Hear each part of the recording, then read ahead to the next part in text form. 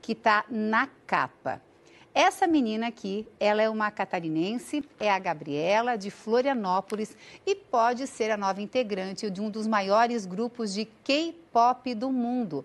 Ela é finalista dessa competição para entrar no Black Swan, grupo com milhões de fãs. Provavelmente você já deve ter visto esse vídeo. Em 2013, a onda do Psy explodiu no mundo. Agora, esse estilo coreano, que mistura canto, dança e atuação, se transformou no K-pop.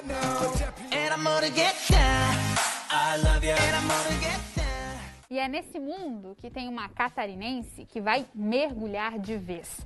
Essa é a Gabriela, moradora de Florianópolis. Tem 18 anos e participa de um grupo de K-pop.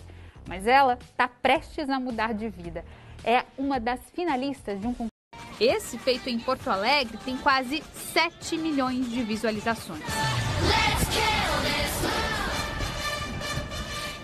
Em casa, a jovem coleciona muitos troféus.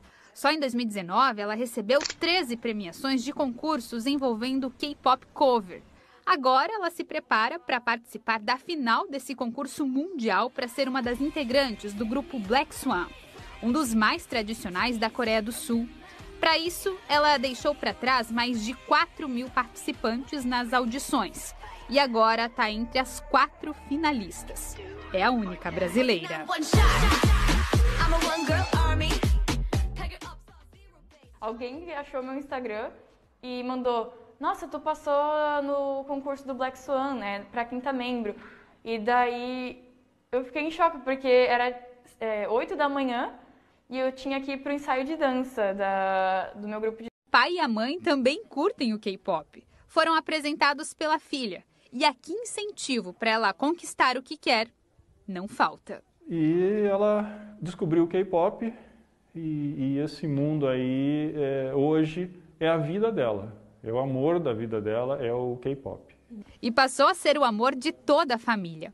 Agora é esperar para viver uma das experiências mais intensas dessa jovem.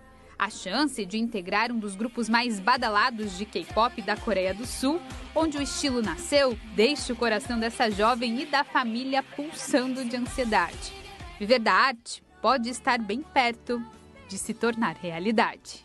Eu quero muito que ela que ela seja feliz, que ela viva intensamente todo esse momento da vida dela, né? A gente já com idade passou por essa juventude sabe é, o quanto é importante se dedicar ao máximo e curtir é,